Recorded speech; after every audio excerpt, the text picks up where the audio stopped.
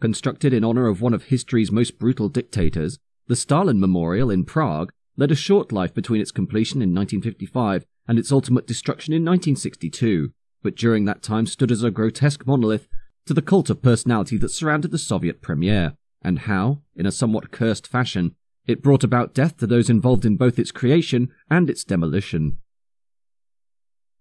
The man for which the monument was erected was Joseph Stalin, who was born under the name Josip Jughashvili on December 18, 1878, as the son of a Georgian shoemaker in what was then a province of the Tsar's Russian Empire. Josip, who would later change his name to Stalin, or Man of Steel, in 1912, notoriously opposing the Tsarist regime and frequently running into trouble with the law that saw him arrested on multiple occasions, all part of his gradual rise up the ranks of the Marxist Russian Social Democratic Labour Party, for which he became closely acquainted with the leader of the Bolshevik faction of this group, Vladimir Lenin, the latter of whom led the Bolsheviks to victory towards the end of World War I in 1917 during the October Revolution, establishing a new one-party communist state in Russia that overthrew both Tsar Nicholas II and the largely ineffective State Duma, or lower house of the governing Senate. Stalin, through manipulations and murder, eventually assuming leadership over the newly established Soviet Union in 1924, following Lenin's death. Stalin's position as state premier, leading to a series of five year economic plans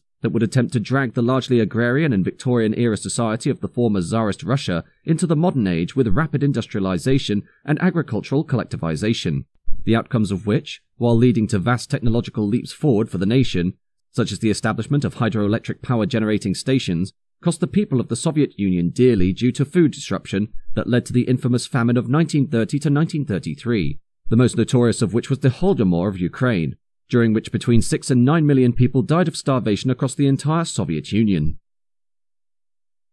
Stalin's reign was also characterized by notorious paranoia, as he firmly believed that elements within his own party and the armed forces were plotting to overthrow him, which, aside from ordering the death of former Bolshevik Party member and political rival Leon Trotsky in August 1940, led to a swathe of mass executions for high ranking members of the Soviet government and military known as the Great Purge, during which over 1 million people were imprisoned, while at least 700,000 were executed. This move only serving to put the Soviet state into a highly volatile position by the time the government of Nazi Germany, led by Adolf Hitler, reneged on an earlier pact of non aggression signed in 1939 and invaded the Russian homeland under Operation Barbarossa, codenamed after Frederick Barbarossa or Redbeard, a 12th century Holy Roman Emperor and German king. During 1941, the lack of experienced officers in the Soviet armed forces combined with largely outdated weapons and disorganized defenses, meaning the Germans could gain massive quantities of Soviet land across an 1800 mile front during a mere five months, and came within 14 miles of Red Square in the heart of Moscow during December of the same year, only for supply chain problems caused by the winter weather, in addition to Hitler's own lack of strategic experience and prioritization, meaning the Russian capital was never captured. With the German advance stalled, Stalin took the opportunity to counterattack, and throughout the course of the next four years was able to beat back the German invasion during what was known as the Great Patriotic War. His campaign against the Nazis characterized through vicious bloodshed, with casualty numbers that climbed into the tens to hundreds of thousands, and the annexation of those states which had been previously occupied by the Germans during their 1941 advance, including the Baltic nations of Latvia, Lithuania, and Estonia, Bessarabia, North Bukovina, and Poland, leading to the establishment of communist governments within these Eastern European countries that would provide a buffer between the Soviet homeland of Russia and the nations of Western Europe and occupied Germany that belonged to the capitalist allies of France, the United States, and Great Britain. His continued distrust as to the place of the Soviet Union on the global stage, especially in comparison to his former allies of America and the British Empire, leading to the start of what was known as the Cold War, a prolonged period of political and military tension supported by the threat of nuclear Armageddon following the development of devastating atomic bombs towards the end of World War II. As for Czechoslovakia during this period, the nation itself was the combination of former states within the wider Austro-Hungarian Empire, having declared independence in October 1918 during its collapse towards the end of World War I, Czechoslovakia remaining a sovereign state until 1938, when, under the Munich Agreement signed between Adolf Hitler of Germany, Neville Chamberlain of Britain, Edouard Daladier of France, and Benito Mussolini of Italy, the Sudetenland, a part of Czechoslovakia where more than 3 million people of mainly German descent lived, was annexed by the Nazi government, leading to Slovakia declaring independence and large portions of the former nation falling into Hungarian and Polish control. The country of Czechoslovakia being reformed once again, following the advance of the Soviet Union against the Nazi occupying forces during 1945, creating the Third Czechoslovak Republic, although the influence of the nation was still very much under the dictation of Stalin's government in Moscow, leading, inevitably, to the enacting of a coup by the Communist Party of Czechoslovakia, as supported by the Soviet Union, in early 1948, creating the Czechoslovak Socialist Republic.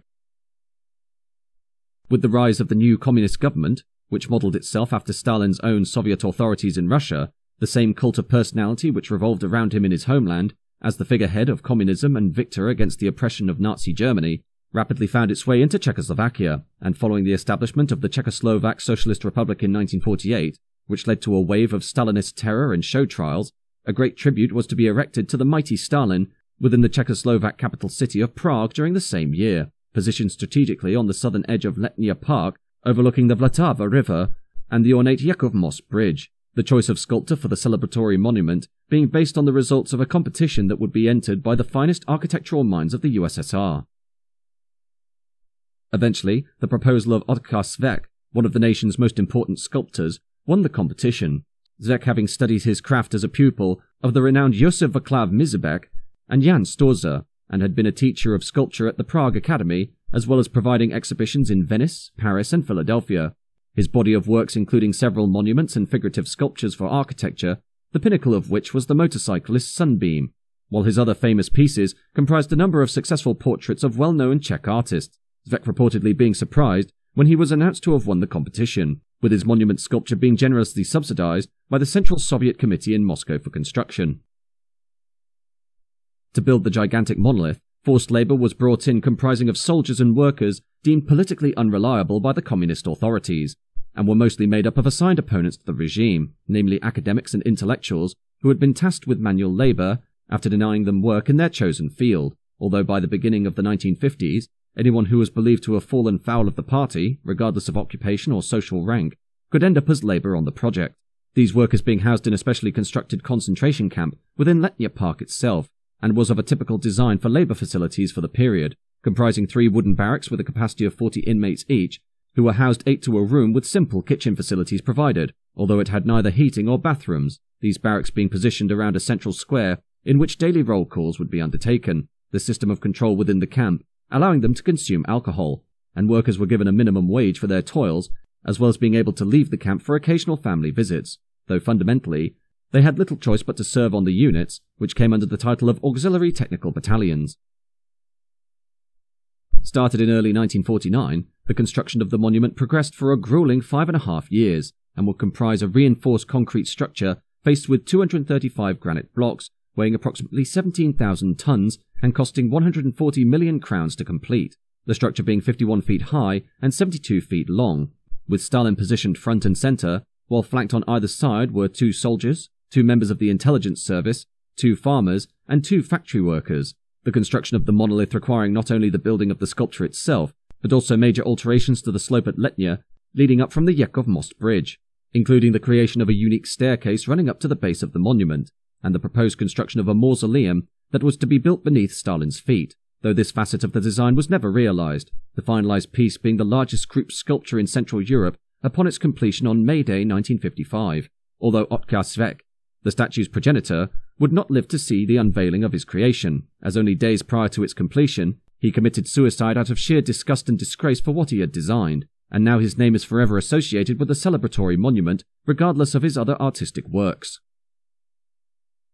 However, the presence of the monument was distinctly out of taste even long before its final unveiling, as on March 5, 1953, Stalin had succumbed to a stroke at the age of 74, and after a bloody and protracted struggle for power between various factions, Nikita Khrushchev, Stalin's former first secretary of the Communist Party of Ukraine, rose to the rank of first secretary of the Communist Party of the Soviet Union, and immediately began a system of denouncing the former dictator under what was known as de-Stalinization, removing all aspects that had been developed to reinforce the strict cult of personality that had developed around him, as well as revealing to the people of the world the vicious tyrant he actually was, responsible for overseeing mass repression, ethnic cleansing, wide-scale deportation, hundreds of thousands of executions, and famines that killed millions, the gigantic monument to Stalin in Prague being immediately lambasted upon its creation for its noble representation of one of history's greatest monsters, and due to the nature of the statue, with the other figures present in its design being stood behind Stalin himself, The sculpture quickly gained the derogatory nickname of queue for meat.